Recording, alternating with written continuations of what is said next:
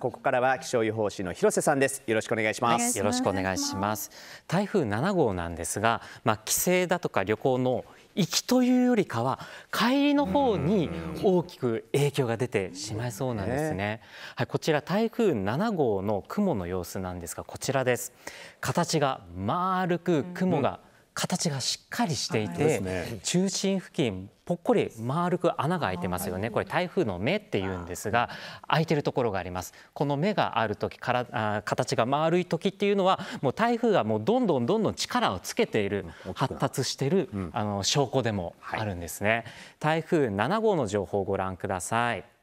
はい、午後3時の状況なんですが中心が今ここ小笠原諸島の辺りを進んでいて、うん、中心付近の気圧この数字が小さければ小さいほど発達していることを表すんですが940ヘクトパスカルです、うん、で最大風速45メートルで非常に強い勢力に発達しています。昨日の予想よりもあの強くなってるんですね。でそこからの進路の予想を見ていくと、予報円見るとこれも昨日よりちょっと西の方にずれているんですよね。一番本州の辺りに近づくのが15日前後来週の火曜日前後ですねこちらの予報円がここです。あまあプラスマイナス1日ちょっとずれる可能性はあるんですが、うん、この時でも動きがゆっくり時速10キロに満たないぐらいなので、うん、10キロって相当ゆっくりですね。あの人が走ってるかなっていうぐらいでスピードでここからずっと来るわけでしょ。動くということで、ね、そういうゆっくりな時って特に大雨の影響というのは出てしまいがちなんですよね。であの前回の6号よりもこの接近の時の勢力が960ヘクトパスカルで強い勢力っていうのが6号よりもちょっと1個上の強さになるんですね。なので進路に当たる地域では、まあ、最大瞬間風速40メートル瞬間的には55メートルになるので進路に当たる地域では風だとか波の被害というのもあの警戒が必要になってくるのかなと思います。近畿直撃っていう可能性もありますし、うん、あの右側東側を通っても、うん、あの関東だとか東海を直撃するとなると、東海道新幹線だとか関,、関西から東に向かう交通機関やっぱり大きく影響が出てしまうというのは可能性としては高いのかなと思います。うんはい、でこちらの予想もご覧ください。暴風域に入る確率というのも気象庁のホームページで公開されているんですが、はい、黄色よりも赤で紫になるほど暴風域域にあの入る確率が高いことを表します。はい、えー、30%から40あ70%のところやや高い領域に和歌山だとか奈良、まあ、三重県が入っているような状況なんですね。すね来週のまあ火曜日前後ですね暴風警報が発表される可能性もあります。うん、はい。さらにもう一個えっ、ー、と予報円を見て今の大きさのままあ強風域だとか暴風域が進んだ場合にいつぐらいに入るのかっていうのをちょっと、えー、まとめてみました、えー、13日日曜日の午前9時、まあ、ちょっと台風のス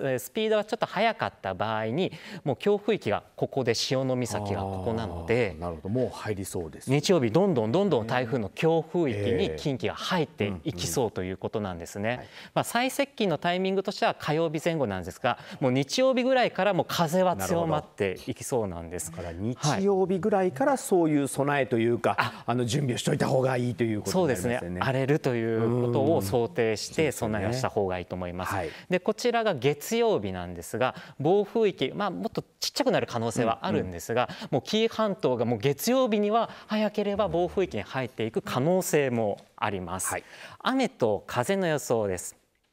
はい、これが台風周辺の発達した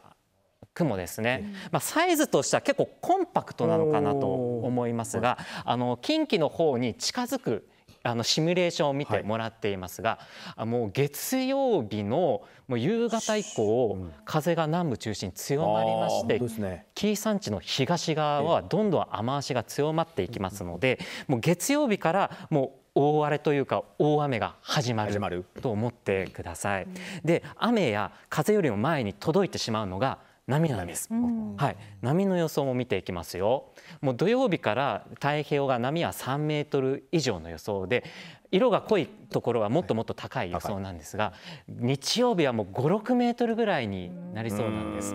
はい、和歌山と三重の予想なんですが、明日の時点で和歌山3メートル、まあ、注意報レベルで、まあ、海のレジャーは明日に関してはギリギリいけるかなって。でもギリギリなので、はい、安全第一で楽しんでほしいですね。で日曜日になると和歌山三重6メートルです、もうビルの高さでいうともう2、3階ぐらいのそんな高い波がはい、押し寄せてくるという状況になります。もう波浪警報が発表される可能性も日曜日は高いと思ってください。ですから、まあ、太平洋側でのその海のレジャーはちょっともう難しいですね避けた方がいいですね。そうですね、うん、いろいろその観光施設で働いている人に申し訳ない気持ちはあるんですけど、ね、もう日曜日の海のレジャーも中止する、うん、あの延期するということを今から考えてもいいのかなと思います。はい、で週間予報です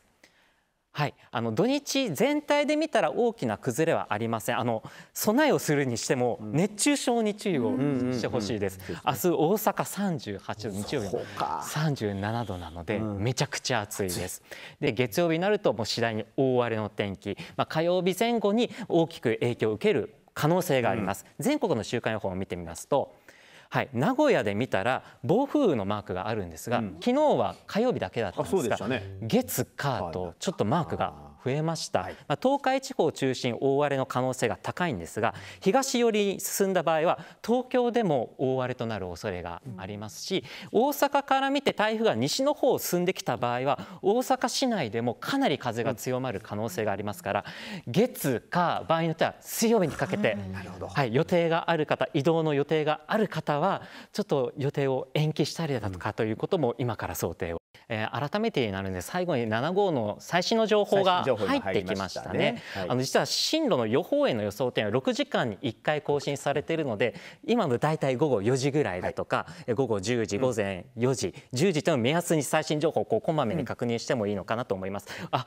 もっと西に予報円、さっきよりも西寄りになった。はい、これが火曜日の午後3時の予報円なんですが、中心の付近通った場合、もう近畿の真上をこう通っていくような。ここがだから火曜日のここが火曜日で、こっちが16日16日だ。水曜日なので、どんどんこう近畿直撃の可能性というのは高まっていると言えます。今のところだからもう奈良とか滋賀あたりをまっすぐ通るということにはなりますから、ということで、はい、警戒を強めるようにお願いします。注意をしてください。